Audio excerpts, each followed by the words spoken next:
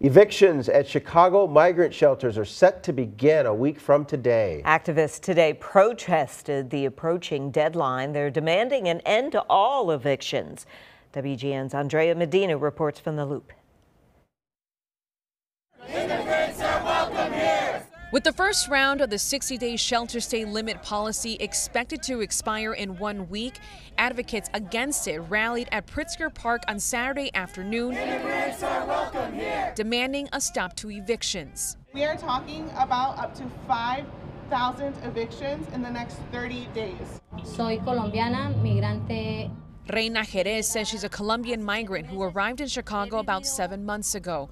With the help of an interpreter, Reina attended the rally to speak up for other migrants who may be at risk of losing their place at a shelter and don't have anywhere else to go.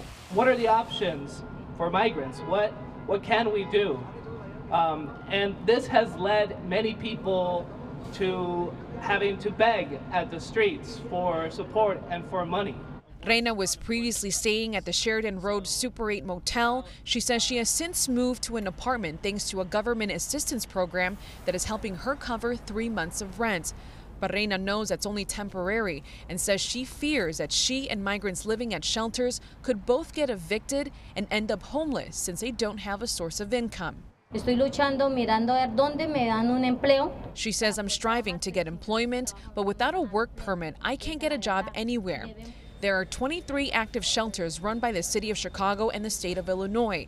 Nearly 11,500 migrants are currently relying on the shelter system as temporary housing while they wait for asylum status and work permits.